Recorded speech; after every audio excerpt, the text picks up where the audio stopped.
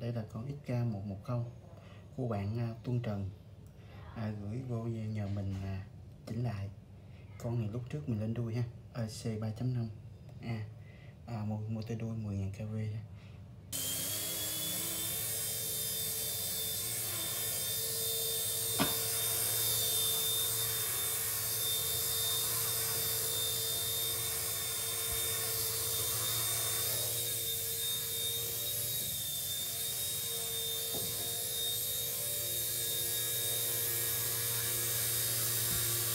Calma.